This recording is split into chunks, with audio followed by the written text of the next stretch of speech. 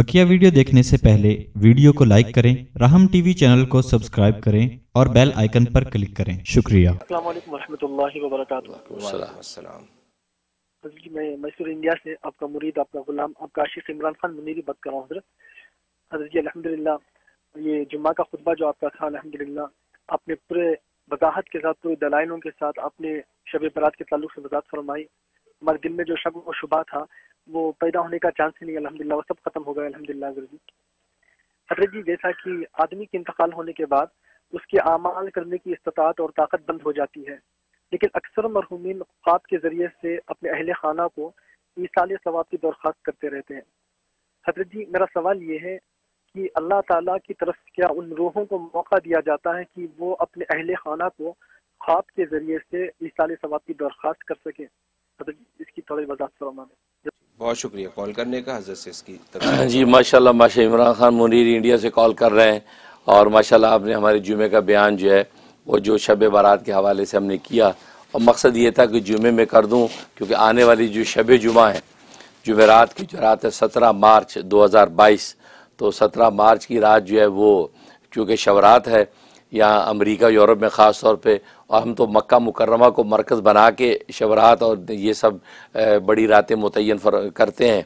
तो माशाल्लाह मक्का मुकर्रमा के अतबार से चूँकि शब जुमा जो है, वो सत्रह मार्च तो ये चूँकि शबरात है, इसलिए मैंने आज जुमे में बयान कर दिया ताकि मौका मिल जाए लोगों को कि शब जुमा के अंदर इबादत करें और जुमे का रोज़ा रखें और जो उसके मुनाफे और समरात उसको हासिल करें और शकूक शुबात में ना पड़े।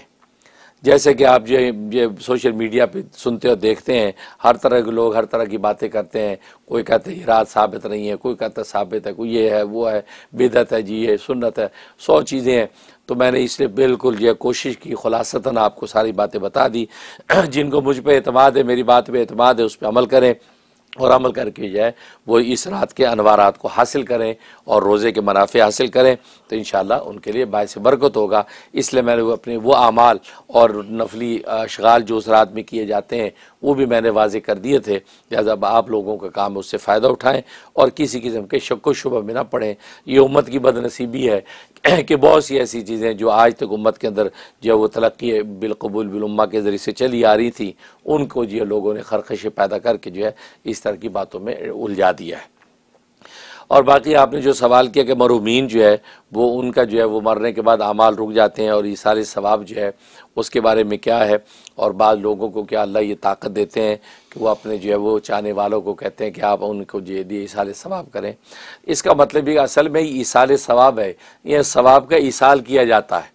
सवाब पहुँचा, इसाल सवाब का मतलब ये होता है कि जो अमल जिसने दुनिया में किया है, किसी अज़ीज़ अकारीब में कोई अमल किया, अमल तो उसका है। अब उस अमल का अजर भी उसको मिला। अब उस अजर को वो दूसरे को दे देता है। इसको इसाल सवाब कहते हैं। लोग खाम खा इसके ऊपर जो खरखश उठाते हैं और जी हदी कुरान में आता इंसान इल्ला मासा आदमी के लिए वो है जिसके लिए वो खुद कोशिश करे। मरने वाला तो मर गया। ये तो ज़िंदा आदमी, ये ये पढ़ रहा है, इसका पढ़ने के इसको मिलेगा। मरने वाले को क्यों मिलेगा? हम भी ये कहते हैं कि पढ़ने वाले ने जो पढ़ा है सूर्य यासीन पढ़ी है या उसने सदका दिया है, इसी को मिलेगा सवाब। है? लेकिन इसका तो इसाल हो रहा है। सवाब का मुस्तक ये इसको मिल गया। अब ये अपना सवाब जो है, वो दुआ करके उस मरहूम को स्पुर्द कर देता है कि अल्लाह उसको पहुँचा दे। इसमें कौन सी अकली ममानियत है? अब ऐसे है, जैसे एक आदमी पूरा महीना मजदूरी की और महीने के बाद उसको तनख्वाह मिली। लो जी, आपकी तीन हज़ार डॉलर आपकी तनख्वाह है। उसने तनख्वाह ली, सारा महीना काम भी उसने किया, उसका अजर व उजरत भी उसको मिली, उसने तीन हज़ार किसी को हदिया दे दिया। कि ले जी, मेरी तरफ़ से आपको हदिया अब बताओ, ये जायज़ है या नाजायज़ है? जायज़ है। कि आपका हक था, आपने काम किया, आपको मिल गया, आपने अपना हक आगे को दूसरे के पार्सल कर दिया। बिल्कुल इसी तरीके से आपने जब कोई नफली अमल किया, आपने नवाफिल पढ़े, कुरान की तिलावत की, कोई सदका दिया, खैरात किया, सारे ये चीज़ें करने के बाद अब आपको उसका अजर मिला। अब आपने कहा, या ये जो मैंने यासीन पढ़ी, इसका सवाब जो है, फ़लाँ जो मेरे मरहूम है, उस मरहूम को पहुँचा दीजिए। इसमें कौन सी अकली ममानियत है? ठीक है ना? तो इसाल सवाब असल में, हकीकत में दुआ है। दुआ है। इसाल सवाब हकीकत में दुआ है कि जो बंदा करता है कि या अल्लाह, ये जो कुछ मैंने पढ़ा, इसका सवाब फलां को पहुँचा दीजिए। वो दुआ अल्लाह कबूल करके वहाँ पहुँचा देते हैं। वरना वरना अगर आप इस सवाब का इनकार करें तो सबसे पहले आपको जनाजे का इनकार करना पड़ेगा। क्योंकि जनाजा भी तो जो जनाजा आपने पढ़ा, और जनाजा पढ़ने पे मरूम की बख्शिश हो रही है। क्यों? अमल आपका है, बख्शिश मरूम की हो रही है। ये तो नस कती से साबित है कि जिस जनाजे में चार मुसलमान शामिल हो जाएँ नेक मुसलमान, चार शामिल हो जाएँ, और सॉरी चालीस शामिल हो जाएँ तो वो उसकी बख्शिश हो जाती है मरूम की। तो अब इसमें आपको सवाल नहीं पैदा होता कि जनाजा जो पढ़ा, मकसद की दुआ तो किए इस पढ़ने वालों ने, अमल इनका था, इन्हीं को अजर मिलना चाहिए मरूम को फ़ायदा क्यों पहुँचा? मालूम हुआ कि इन्होंने दुआ की, या अल्लाह इसको बख्श दे, हम जो दुआ कर रहे हैं, इसके नफ़ा उसको पहुँचा दे। तो बस इसाले सवाब भी है कि अमल आपका नफ़ा दूसरे को पहुँच रहा है। और क्योंकि आप दुआ करके उसको पहुँचा रहे हैं। इसलिए इसाले सवाब का दफ़ा जब पहुँचता है तो मरूमीन जो है, वो उससे उनको जो है, उनके गुनाह माफ़ होते हैं, उनके दर्जात बुलंद होते हैं। अब बसाओकात ये होता है कि मरूमीन किसी मसले में वहाँ अटके हुए हैं कि कुछ इसाले सवाब आ जाए, कोई नेकियाँ मिल जाए, कोई तस्वीर असकार मिल जाए, कोई सदक़ात मिल जाए तो ये हमारी मुश्किल दूर हो जाएगी। या एक ख़ास मरतबा में नसीब होना है, लेकिन मेरे अमल में वह ताकत मेरे अमल तो पूरे हो गए अब पीछे से अगर कोई मुझे कोई भेज दे हदिया तोहफ़ा तो अल्लाह मुझे फिर वो मरतबा दे देगा।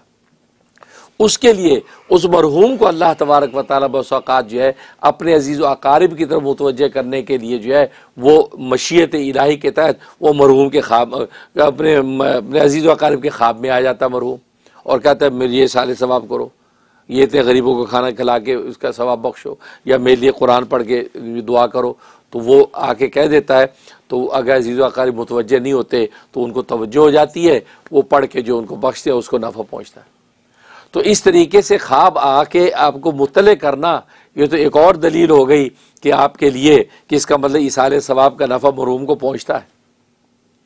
तो इसलिए बहरहाल, इसमें तफसीली फतवा मेरा जो है वो यूट्यूब के ऊपर भी मौजूद है और वैसे भी उसमें मैंने पूरी तफसीली फतवा लिखा हुआ है दलाइल के साथ कि इसाले सवाब जो है बिल्कुल इसका नफ़ा पहुँचता है और मरूमिन में अल्लाह जब चाहे जिसको चाहे ये कुत दे देता है कि वो अपने जो है वो चाहने वालों को मुतवजह करे। बाकी ये कहना कि अल्लाह इंसान इल्ला मा सा इसके बारे में बड़ी दिलचस्प बात मेरे जहन में आई कि इमाम आलम रब्बानी हज़रत शेख हज़रत मौलाना रशीद रशीद गंगोई रहमत जिनका भी ज़िक्र हो रहा था। इनके कोई शागिर थे। उन्होंने जो है वो ये आयत पढ़ी, तिलावत की तो उनको ये सवाल पैदा हुआ कि ये जो कहा कि अल्लाह इंसान इल्ला मा सा कि आदमी के लिए वही है कि जिसकी वो कोशिश करे। तो गोया कि किसी दूसरे की कोशिश का नफ़ा उसको नहीं पहुंचेगा। तो ये गोया कि इसाले सवाब के हवाले से फिर शुबा पैदा हो गया। इसका क्या जवाब है? वो सोच में पड़ गए तो उनका कि ये जो है, इमाम रब्बानी से जाके पूछता हूँ। तो अपने गाँव से उन्होंने सफ़र शुरू किया। कई दिन का सफ़र था। अपने गाँव से सफ़र किया। यहाँ तक के वो दिन में, रात में, दरमियान में ठहरते ठहरते वो गंगो पहुँचे। फजर की नमाज़ का वक़्त था और हज़रत जो है गंगोई रहमत जे इमामत के मसल की तरफ़ बढ़ रहे थे, बढ़ रहे थे और ये उस वक्त पहुँचे, बेहाल। लेकिन इनको इतनी एक तड़प और तरफ़ थी कि जल्दी से मुझे ये शुभ हल मिल जाए।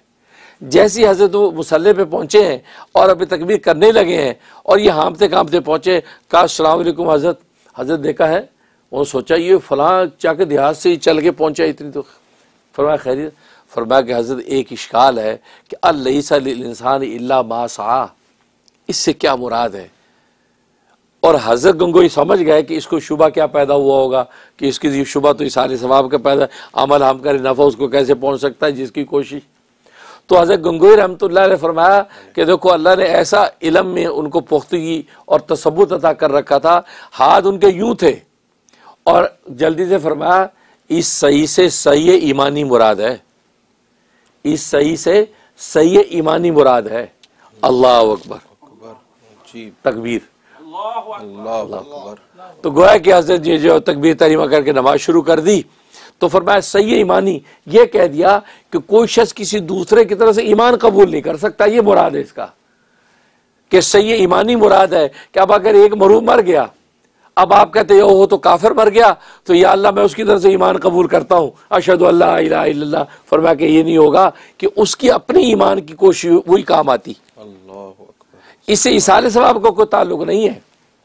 वो तो अगर मोमिन मरा आपको उससे ताल्लुक है आप इसाले सवाब करेंगे उसको यकीन पहुंचेगा। तो ये इसाले सवाब इस आयत के मनाफी नहीं है। तो हज़रत के एक जुमले ने सारे शुबे दूर कर दिए कि सही से सही ईमानी मुराद है। क्योंकि अगर सही ईमानी मुराद ना होती तो फिर तो आज सारे लोग जो है वो मरने वालों की तरफ़ से ईमान कबूल कर करके सबको मुसलमान कर देते। यानी वकालत हो जाती सबकी तरफ़ से। इसका मतलब है कि ये नहीं हो सकता।